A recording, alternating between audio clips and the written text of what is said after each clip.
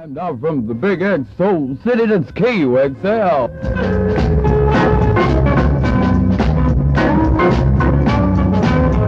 I'm still shaking on down with our um, Encore 66. We'll be here now to 4.30 with uh, some of the best uh, old and new and rhythm and blues.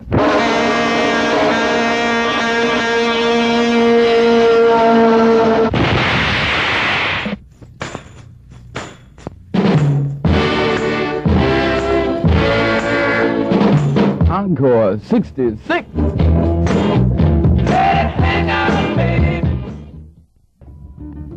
Would you believe a winter animal fur coat and it's reversible? Italian knit jacket sweaters with suede and leather fronts. Now to top it all off, it's that man cologne by Revlon. Snow or sleep, it's on 6th Street and it's Keepers.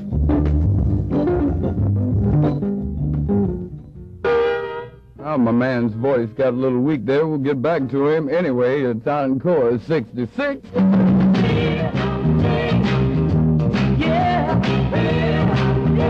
Hi, that's J.J. Barnes. University. Coming to the Marigold.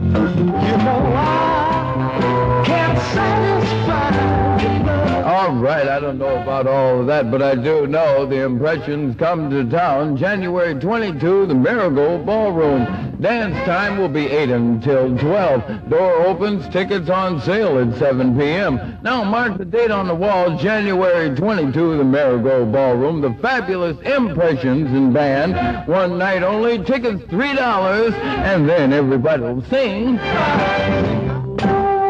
We neglected one thing, the Amazers, too. So the Impressions, the Amazers, for you at the Marigold.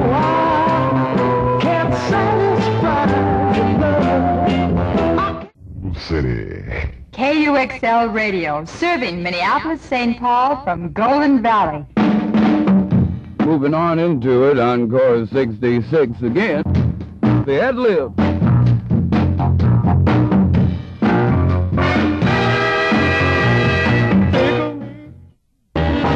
Community news.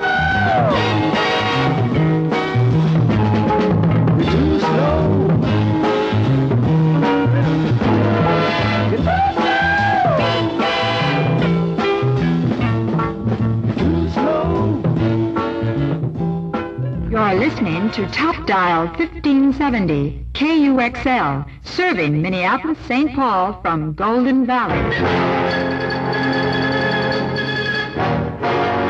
Presented as a public service, KUXL Community News at 3 o'clock. Richard E. Nelson reporting. James M. Willis of Minneapolis has been named a member of the Fair Employment Practices Commission. The appointment by Minneapolis Mayor Arthur Naftalin is subject to the approval of the City Council. The office of the 43-year-old Minneapolis attorney is in the Times Annex building. United Nations, positive action has been taken against the racist government of Rhodesia by that international body. The UN Security Council has applied to enforce certain sanctions against the regime of Ian Smith. Since these sanctions seek, uh, the sanctions sought are not broad, the results are likely to be limited. Monday, January 2nd, 1967 will be observed as a holiday by the Minneapolis Post Office. All stations and branches will be closed. There'll be no delivery of mail, and no mail will be available at the post office call window. Window service at the main post office will also be suspended. Special delivery mail and perishables will be delivered as usual. Collections will be made on a regular holiday schedule. Washington, Minnesota's Republican Representative Clark MacGregor told federal education officials they should enforce anti-discrimination uh, laws governing public schools rather than trying to negotiate unauthorized gradualism. McGregor said he didn't feel that any changes in the law were needed at this time. What is needed, he said, is for the executive branch to pay closer attention to enforcing it. Minneapolis, the Office of Hennepin County Welfare Department reports the post of Economic Opportunity Director is open due to the January 1st resignation of Larry Harris, who's taking a position with the Minneapolis public school system. The salary range is from 12 to $15,000 annually, and applications may be secured by calling 332-5275. Vietnam, Wally D. Hill, 24, son of Al Hill of 1112 James Avenue North, was promoted to Army Sergeant in Vietnam, where he's serving with the 67th Evacuation Hospital. Minneapolis, Samuel L. Richardson of Minneapolis was elected president of the Minneapolis branch of the NAACP. The election was held last week at the Phyllis Wheatley House at 809 Aldrich Avenue North.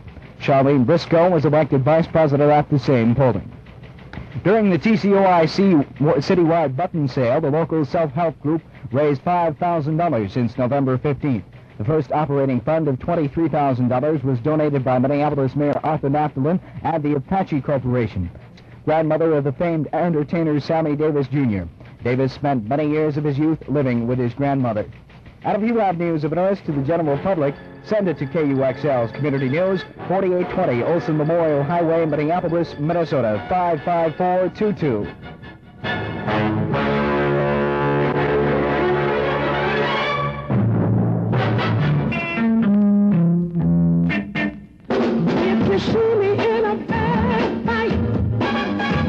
Help me, help the bear. KUXL, serving Minneapolis, St. Paul from Golden Valley. KUXL Radio News presented as a public service. 4 o'clock edition, Dateline Washington. Dr. Martin Luther King charged the federal government today with reducing the War on Poverty program to a mere skirmish after the system of national priorities has made Vietnam a national obsession. Dr. King, winner of the 1964 Nobel Peace Prize, remarked the generals could be forgiven if they walked off the battlefield in disgust if the investments in the war and those in the anti-poverty program were reversed. Again, Washington, high government officials have denounced the freedom of choice plan for desegregation of southern schools, calling it largely unfree, unfair, unrealistic, inconvenient, and inefficient. David S. Seeley, Assistant Commissioner for Equal Opportunities, says you'd be hard put to find any place short of the borders of the Soviet Union where the population is as terrorized as some of the Negro people in the southern counties. Minneapolis, the Citizens Advisory Committee of TCOIC will meet Saturday morning, December 31st at Howard's Cafeteria, 3300 4th Avenue South in Minneapolis. St. Paul, Chester W. Odin Jr. announced this week that Road Buddies Barbecue and Amity Lounge in the capital city will reopen December 30th at 4 p.m. Chester W. Odin Sr., one of the best-known of Twin Cities businessmen, was the victim of a tragic drowning accident during an October hunting trip. 4 o'clock edition of KUXL Community News. If you have news of interest, send it to KUXL, 4820 Olson Highway, Minneapolis, Minnesota.